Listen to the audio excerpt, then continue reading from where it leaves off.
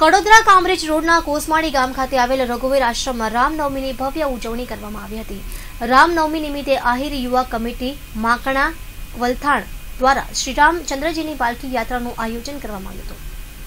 આ શોભાયાત્રા માખણાના વલથાણ ગામથી નીકળીને વિવિધ સોસાયટીઓમાં ફર્યા બાદ રઘુવીર આશ્રમ ખાતે આવી પહોંચી હતી, જ્યાં મંદિરે ધાર્મિક કાર્યક્રમોનું આયોજન કરવામાં આવ્યું હતું. જય સિયારામ મારું નામ દીપકભાઈ રાજગુરુ. શ્રી રઘુવીરધામ આશ્રમ કુસમાડીથી. આજે રામનવમી.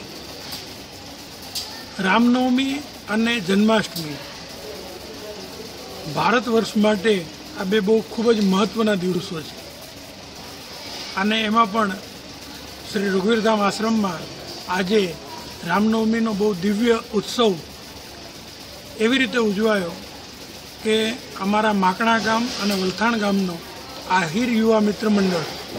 એમણે આજે સવારથી રામજી લાલાને પાલખી યાત્રામાં લઈ અને માકણા, વલથાણ એની સોસાયટીઓમાં ફરતા ફરતા બધા મહિલા મંડળોના સંકીર્તન કરતાં કરતાં ખૂબ સુંદર રીતે આશ્રમમાં પધાર્યા. આશ્રમમાં ભગવાનને કેસર સ્નાન કરાવી અને રામ જન્મનો ઉત્સવ થયો. આપણને એમ થાય કે જ્યારે આપણે આપણા બાળકનો જન્મ ઉત્સવ કરીએ, એ વખતે ચારસો પાંચસો માણસ સાહજિક આપણે ભેગા કરી લેતા હોઈએ તો જે જગતનો તાત છે, એનો ઉત્સવ થવો જ જોઈએ. આજે અમે જોયું કે આ જે યાત્રા નીકળી, ખરેખર આવી યાત્રાઓ દરેક મંદિરમાંથી થવી જોઈએ.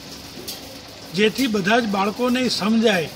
આજે મોટે ભાગે આપણે જોઈએ છીએ કે બાળકો અંગ્રેજી માધ્યમમાં ભણતા થઈ ગયા છે, એટલે જુદા જુદા ડે વિશેની ખબર હોય છે. પણ રામ જન્મ, રામ જયંતિ શા માટે? કૃષ્ણ જયંતિ શા માટે? આ લગભગ આપણે ભૂલવા માંડ્યા છે.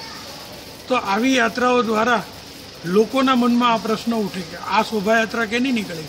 અને ત્યારે બાળકોને ખબર પડે કે આજે રામ જન્મ હતો. એટલે રામ એટલે કોણ? તુલસીદાસજીએ રામાયણમાં કીધું છે જાને બીનું ન હોય પરતીતી. બીનું પરતીતી હોય નહીં પ્રીતિ.